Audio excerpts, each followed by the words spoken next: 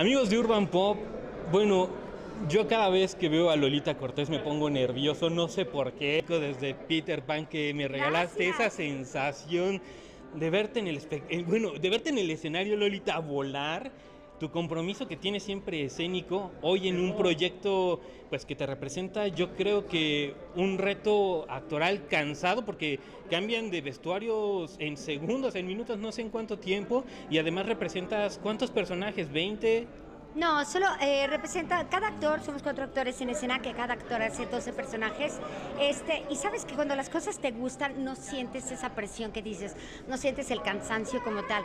Tal vez lo que, lo que a nosotros eh, siempre queremos es que el público se vaya contento. Yo creo que estamos en un momento, viviendo estos momentos en donde queremos salir de casa a disfrutar, a reírnos, a pasarla bien, y eso es Te Amo.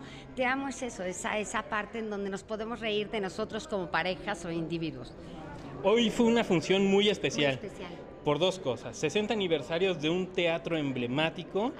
Y un personaje que les hizo una develación de placa que, bueno, nos contó historias de que ha estado eh, montando obras de teatro en este teatro, valga la redundancia, el maestro Ignacio López Tarso. ¿Sentiste algún nervio? Bueno, si es que Lolita Cortés aún siente nervios. por supuesto, yo, yo creo que conforme transcurre tu carrera vas sintiendo cada vez más y más y más nervios porque sabes la responsabilidad que implica tu nombre y lo que está esperando el público de ti. Lo que hoy vivimos con el maestro López Tarso oh, fue maravilloso, una energía impresionante y estamos haciendo historia cumpliendo estos 60 años del Teatro Hidalgo.